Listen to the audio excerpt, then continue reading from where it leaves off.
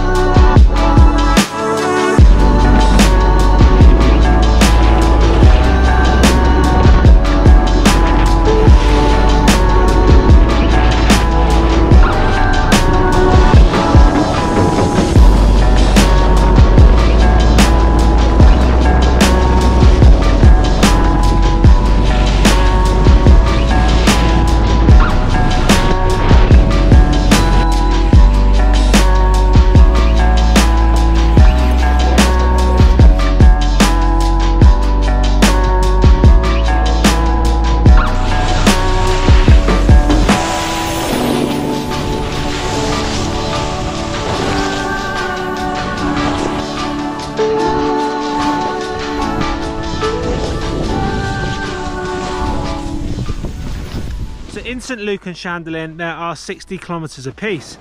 However, it's better known for its free ride. From looking around, there are just so many opportunities here to get away from the piste and explore. Okay, so starting to get a feel now for St Luc's Chandolin. Tends to be that St Luke seems to be in the sun, but you'd expect that because it's southwest facing.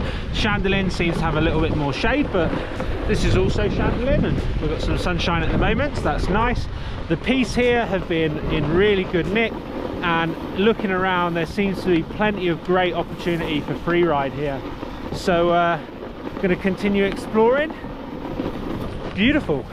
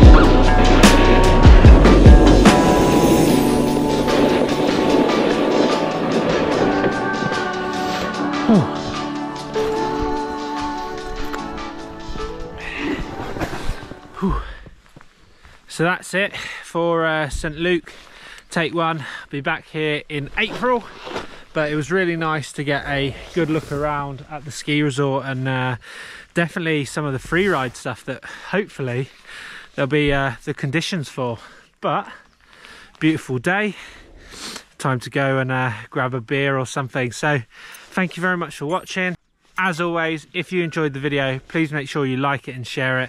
If you've got any questions about st luc or any of the other magic pass destinations drop them down below.